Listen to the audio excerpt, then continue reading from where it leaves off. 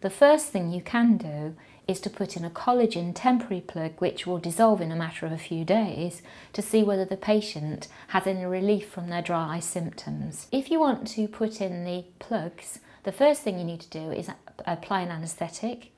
You then dilate the punctum large enough to take the plug. With the old-fashioned plugs, you used to have to measure the size of the punctum to find out what size plug to order. But with the smart plugs, then they expand with body heat, so you don't need to worry about that.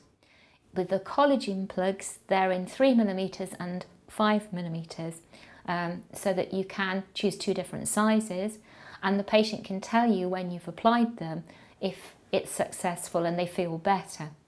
You dilate the punctum and then you put in the plug when the punctum is large enough to take it and push it well down because the patient will get discomfort when the anaesthetic wears off if the punctum is proud and you'll need to push it further down.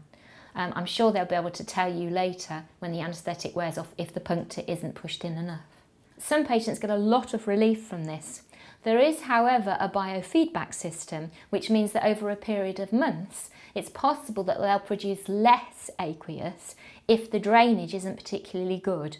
But certainly for about 18 months, the patients definitely notice an improvement.